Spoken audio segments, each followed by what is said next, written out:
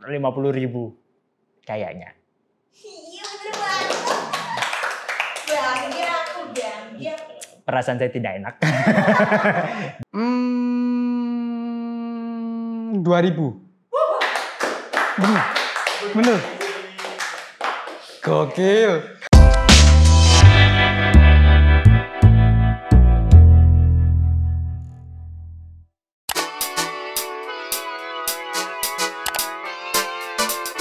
Hai. Hai. Hai. Halo. Nama aku Tia. Banyak gaji UMR. Kelipatan tiga.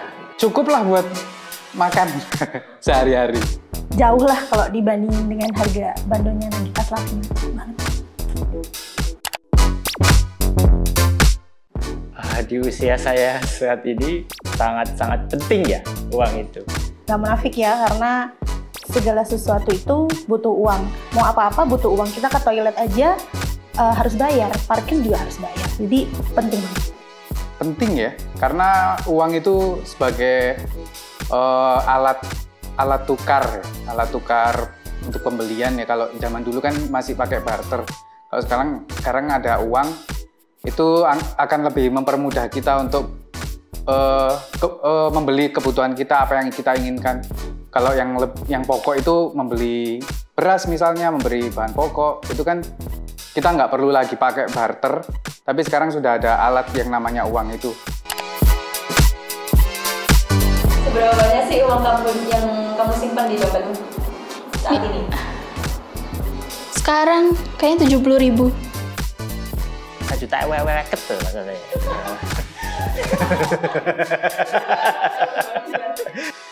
Berapa ya? Kadang soalnya diambil istri saya semua. Bukan diambil, tolong ya, tolong bukan diambil. Maksudnya yang nyimpen istri saya, bukan diambil. Berapa ya? 50 ribu kayaknya cuma di dompet nih. Eh, sejujurnya aku clumsy ya. Jadi kalau megang uang itu aku takut hilang. Ini ya, eh, udah sering memakai digital money gitu loh. E-money, iya e-wallet gitu. Jadi kayak lebih lebih nggak ribet dengan kembalian sih. Kalau sekarang, sekarang kebetulan bawa eh, ya 30 ribu mungkin. Kenapa? Kok ketawa mbak? Kenapa kok ketawa?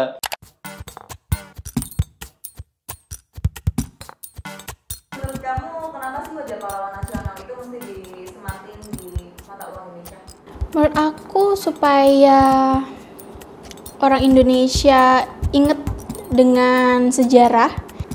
Mungkin untuk eh, lebih menghargai pahlawan kali ya dan mengenang juga para-para pahlawan gitu. Ingat dengan perjuangan pahlawan karena tanpa mereka tentunya kita nggak bisa ngerasain uang rupiah yang sekarang. Pahlawan ditaruh di uang itu untuk lebih mengingat jasa-jasa mereka gitu sih.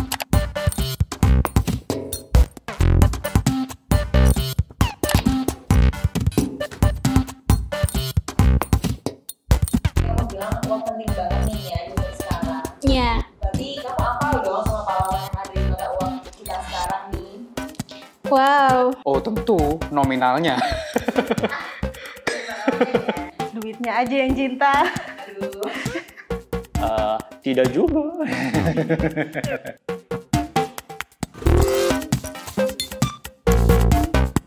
Pertama, di uang ini ada gambar Insinyur Soekarno dan Muhammad Hatta. Terus di baliknya ada peta Indonesia dan air mancurnya.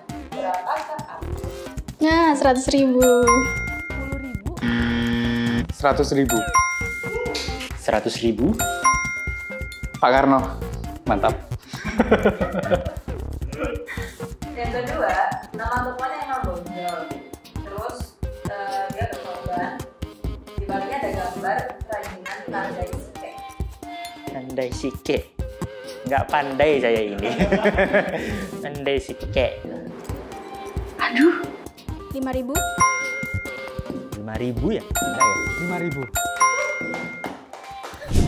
Ada gambar tokoh I Gusti Ngurah Rai. Di belakangnya ada gambar perahu, pepohonan, dan tokoh itu mengambil seragam. 50 ribu. Kayaknya. Iya bener banget. perasaan saya tidak enak. Hmm, 2000. Bener. Bener. Gokil.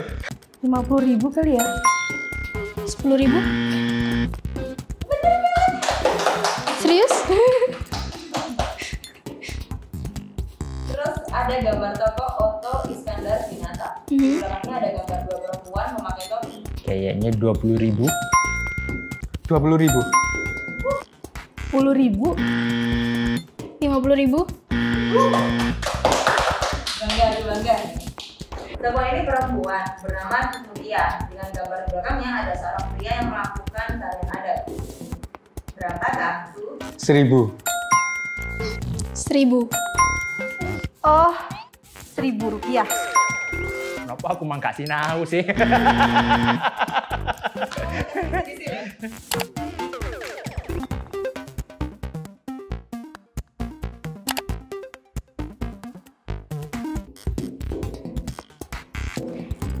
Dua-duanya. Tapi kalau yang di dompet tuh nggak sebegitu banyak gitu loh, cuma untuk keperluan-keperluan yang mendes- mendesak dan memang harus tunai. Biasanya kan kalau misalnya apa pulang kerja atau misalnya ketemu temen, kita biasanya tuh makan dan apa namanya iuran ya. Nah itu biasanya aku suka pakai cash karena itu mempermudah eh, buat aku. aku sih akhir-akhir ini lagi suka pakai dana ya. Eh, kalau dana itu apa ya yang paling ya sebagai kaum kaum seperti kita lah ya. Nggak ada potongan waktu kita top up.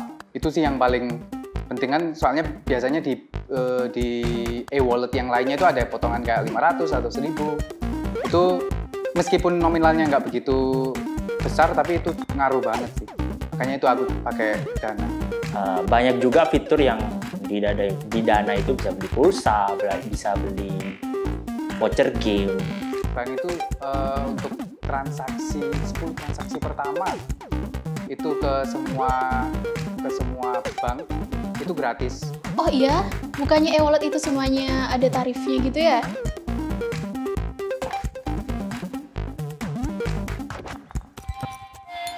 Bagi pekerja kantoran, pahlawan itu adalah orang yang bisa diajak diskusi tentang kerjaan saat saat, saat, saat dia sedang sibuk. Jadi dia bisa diajak diskusi tentang pekerjaan.